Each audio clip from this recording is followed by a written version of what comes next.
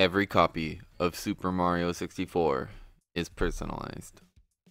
Or, at least, that's how the myth goes. So let's play devil's advocate by taking up the perspective of the believer for the purposes of this section. When you first slotted that cartridge into your old N64 and powered the game up, you became an unknowing participant in one of Nintendo's grandest experiments, the personalization AI. This AI was an experiment so great in scale that neither Nintendo nor Miyamoto developed it, and they certainly had only a modicum of control over it. That experiment affected all of us. It would change the game in subtle ways at first, moving a wall or a door a bit over to add some variety to the gameplay. Next, it would start to challenge you. It would alter levels in ways you never expected, and even used assets you'd never seen before on your copy, or anyone else's. Some of these changes were entirely benign, even unnoticeable. You'd walk right past one and not spare it a second thought.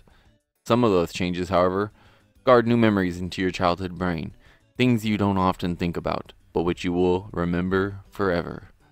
For some players, it manifested as the massive, ghostly head of Wario at the end of a dark hallway, taunting you as it gets closer, and faster, and faster. For others, it was entirely new paintings and stages, featuring a jumble of assets from throughout the game that made for an uncanny experience. So, if you ever played Mario 64 on an original cartridge, what was your experience? Compared to the lifespan of the original game that spawned the tales, the personalization AI seems to be a relatively new idea. While Super Mario 64 was released in 1996, which was 28 years ago at the time of recording, the every copy of Mario 64's personalized meme only really hits the keyword scene a bit over 4 years ago, in May of 2020. Perhaps not as surprisingly, the Mario 64 iceberg keyword search trends follow directly on the heels of the beginning of the personalization trend. This is all due to the creepypasta, which is just a creepy copy and pasted story for those who might be unfamiliar, that was making the rounds on the internet at the time. The creepypasta was short, posted by Anonymous. It reads as follows Every copy of Super Mario 64 is personalized. Nintendo's experimental AI adapts and subtly creates a slightly altered version of the game tailored specifically for you, appealing to you subconsciously in ways you don't even notice, as well as attempting to mess with you and study how you react to it. Have you ever played someone else's copy of Mario 64? Have you ever felt like something was just a little bit off?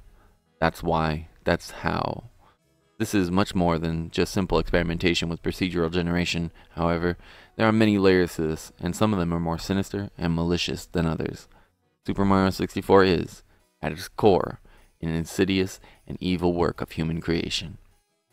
It was this story of Mario 64 personalization that became hooked in the minds of many, and it essentially led to the iceberg being posted in the first place, which is why it features so prominently at the bottom center of the original graphic.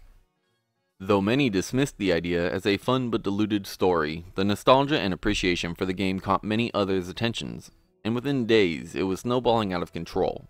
The Mario 64 iceberg and the story of the personalization AI that went along with it were soon shared outside of their typical image board homes, where the idea had been incubating and growing into a full fledged canon of its own.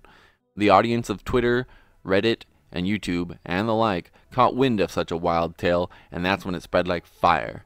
Interest in the concept online peaks within the following months, largely thanks to how often it was shared on these platforms. For a time, people just couldn't get enough. While we can explain away most of the tall tales that cropped up during this period, it certainly didn't make it any easier to decipher since there was already an ongoing massive leak from Nintendo's assets going back decades.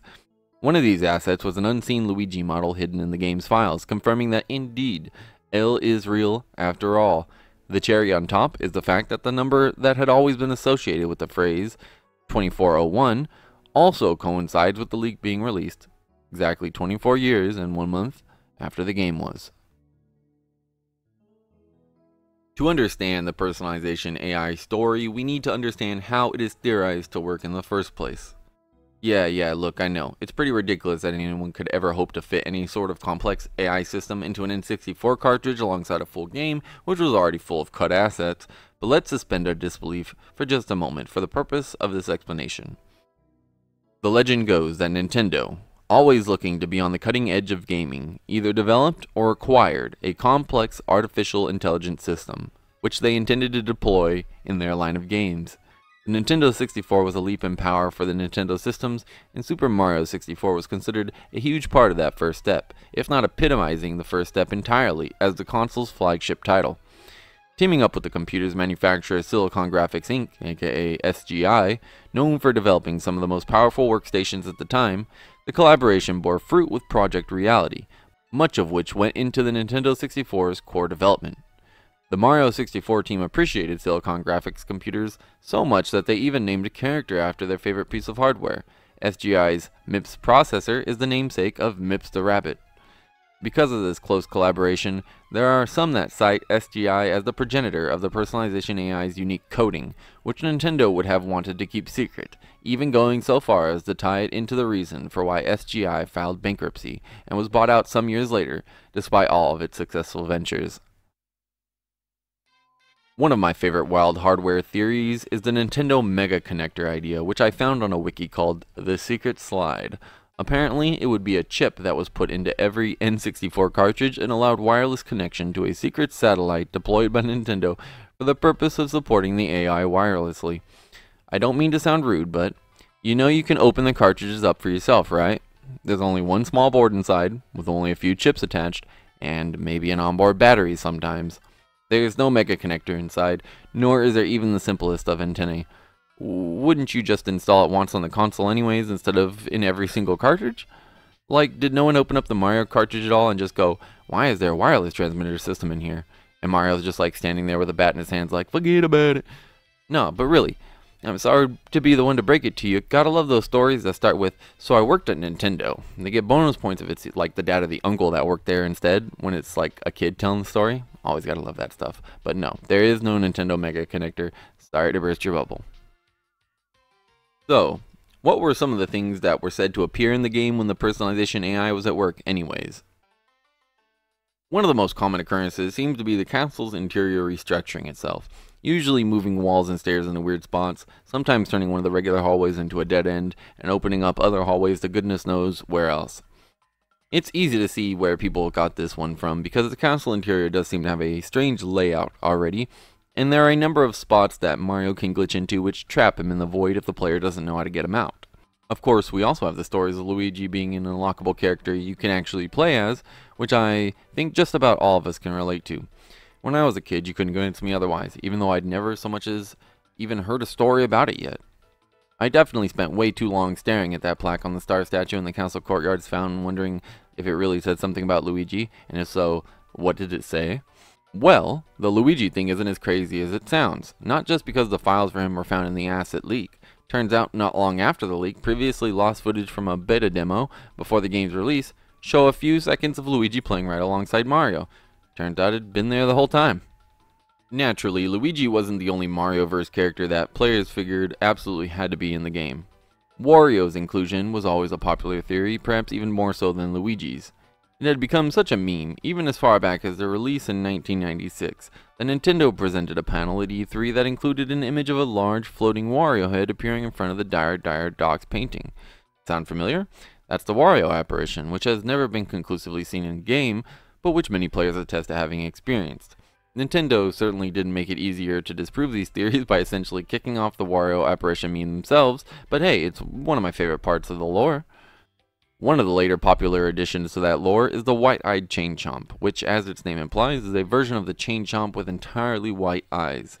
This change has been labeled as an omen of more personalizations to come, so if you see one, watch out. You could end up fighting a Blargg in Lethal Lava Land, or stumbling into the forest beyond the fences of a Big Boo's Haunt, or even taking a trip to the islands in the distance, where who knows what happens.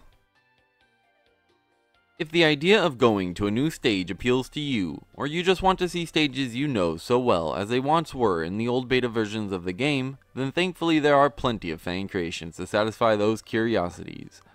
One of the most popular projects of late are the ROM hacks that recreate the beta gameplay found in the Shoshinkai, or Space World demos, from 1995, which was also seen in demo footage in various media leading up to the game's release. The Preservation Project is a faithful adaptation of this demo gameplay, essentially allowing players today to get much of the same experience that gamers almost three decades ago would have had while anticipating the latest Mario title. On the other hand, B3313 is an infamous ROM hack that ends up being a monster of a game in its own right.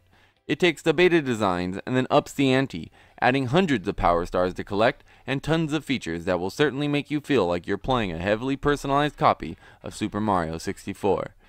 Such ROM hacks have inspired spooky video series like SM64 Classified, which follow gameplay that is said to have occurred in these highly personalized copies of the game. One of the most common characters, a textureless Mario that essentially appears with no face, was even dubbed Stanley and adopted as a sort of mascot for the AI. I'd also like to shout out the Beta Archive, which provides tons of great footage, music edits, and more in this Beta Mario 64 style. Thank you, Beta Archive. Well, well, well, you did it. You've gone all the way down the Mario 64 iceberg past cackling Wario heads and wide-eyed chain chomps, past those featureless Mario models and the deep cover AI with an agenda, and you've made it back to the surface unscathed. Impressive. Now that you're a resident expert on all the spooky and secretive inner workings of Super Mario 64, how about we switch up to something a bit more lighthearted? I've been practicing with some of my favorite games, including SM64 and Donkey Kong Arcade version, and I've been able to achieve some respectable speeds and scores. I've even finally got a solid pacer of a run on my Mario 16 star route and set a huge new personal best. Join me on my speedrunning journey by clicking the video recommended on screen now. If you enjoyed this video, don't forget to leave a quick like and subscribe if you want to see more. Thanks for watching. I'll see you on the next video.